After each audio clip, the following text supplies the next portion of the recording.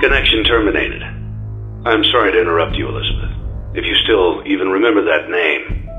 But I'm afraid you've been misinformed. You are not here to receive a gift, nor have you been called here by the individual you assume, although you have indeed been called. You have all been called here, into a labyrinth of sounds and smells, misdirection, and misfortune. A labyrinth with no exit, a maze with no prize. You don't even realize that you are trapped. Your lust for blood has driven you in endless circles, chasing the cries of children in some unseen chamber, always seeming so near, yet somehow out of reach. But you will never find them. None of you will. This is where your story ends. And to you, my brave volunteer, who somehow found this job listing not intended for you. Although there was a way out planned for you, I have a feeling that's not what you want. I have a feeling that you are right where you want to be. I am remaining as well. I am nearby.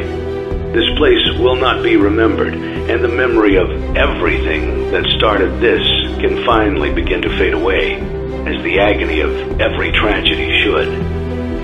And to you monsters trapped in the corridors, be still, and give up your spirits. They don't belong to you. For most of you, I believe there is peace, and perhaps more, waiting for you after the smoke clears. Although for one of you, the darkest pit of hell has opened to swallow you whole. So don't keep the devil waiting, friend. My daughter, if you can hear me, I knew you would return as well. It's in your nature to protect the innocent. I'm sorry that on that day, the day you were shut out and left to die, no one was there to lift you up into their arms, the way you lifted others into yours. And then, what became of you? I should have known you wouldn't be content to disappear. Not my daughter. I couldn't save you then. So let me save you now.